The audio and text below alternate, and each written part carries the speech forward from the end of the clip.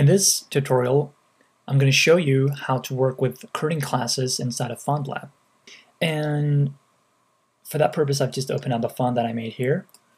And what you're going to do is click on the classes panel icon here to bring out this, this uh, window here.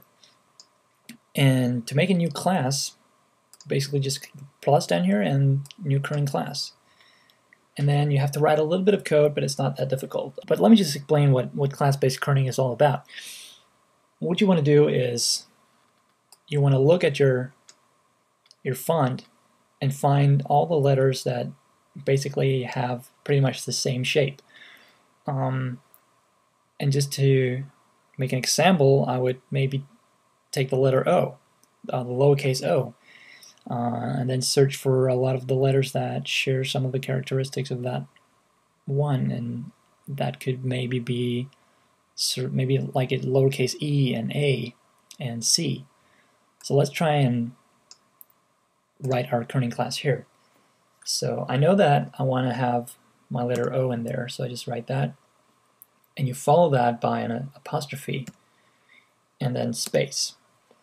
And that basically tells FontLab that the letter that you just wrote right here is going to be the king, it's going to be the leader of that group. And each letter that you write after that, um, in this case, lowercase a, is going to be a member of that group, which is controlled by O. And then I make a space, and then the C and space and E. So let's say that we're satisfied with this group right here. Then you hit the, the accept button down here to the right, and you can see that FontLab generates the group. Um, the yellow marking just indicates to us that this is the leader of the group, and these are the members. And an important detail, which is really important to remember, is this field right here. Um, to explain that, I'm just going to bring out my new metrics window right here and move this window down a little bit. And I'm going to write, I'm going to make sure, first of all, that I am in kerning mode and that I have class kerning enabled. And I'm just going to write the letters uh, that I have in my group.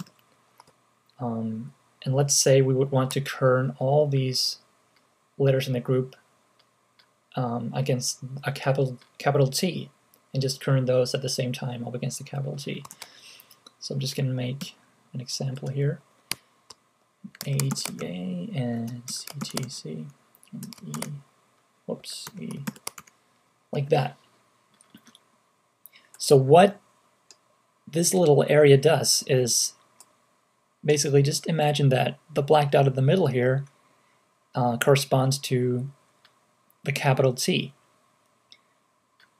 And then the checkbox to the left of the black dot represents, in this case, the A, or just any of these characters that we have in our group.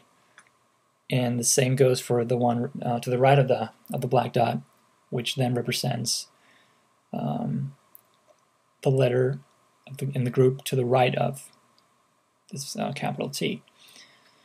So if not, neither of these are checked, um, it's not going to have, the class kerning of this group is not going to have any effect. You're not going to be able to view it. So you're going to decide if whether or not the effect is going to be active on the left side, um, on the right side, or on both sides. So let's just start with um, the distance between the lowercase a and the capital T right here, um, and ignore this distance right here.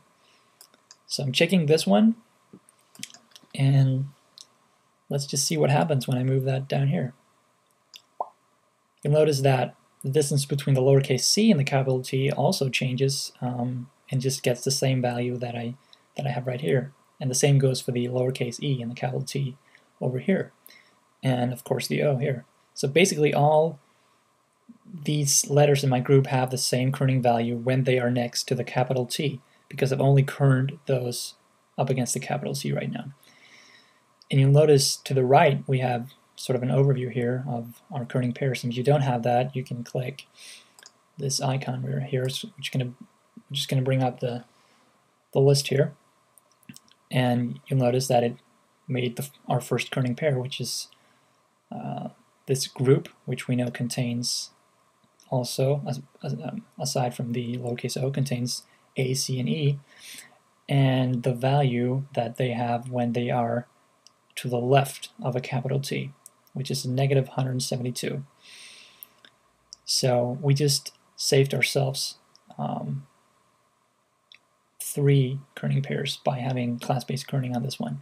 And just to demonstrate the right side, if I check that on and move the A closer to the T, um, the others will move accordingly, like that. And it doesn't matter which one of these that you move, they're all just going to share each other's um, values. So you don't have to move necessarily the um, what I what I like to call the king of the group or the leader. Uh, you don't have to move that. You can also move uh, one of the, the members of the group. And even the king is going to obey that, to, to, use a cheesy metaphor. Um, so that's basically what class kerning is all about. Um, and it's going to save you a hell of a lot um, of, um, of work, actually.